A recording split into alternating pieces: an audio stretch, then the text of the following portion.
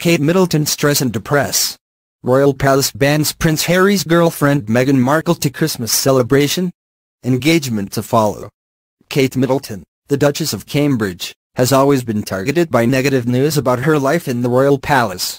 From her reportedly troubled marriage to Prince William to her alleged rivalry to Prince Harry's girlfriend Meghan Markle.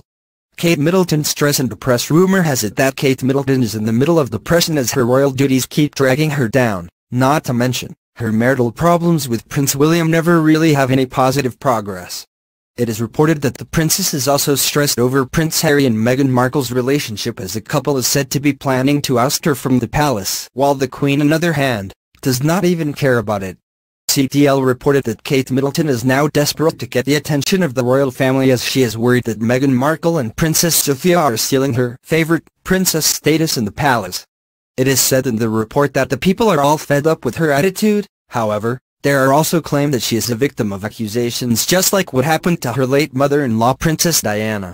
Many people believe that Kate Middleton is suffering the same torture that Princess Diana experienced when she was still part of the royal family.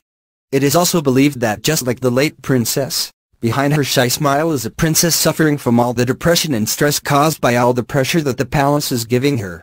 Now, when it comes to her marriage, though Prince William is way more different than his father, Kate Middleton's supporters are afraid that she might have the same fate as Princess Diana especially now that there are reports that she and her husband both have problems.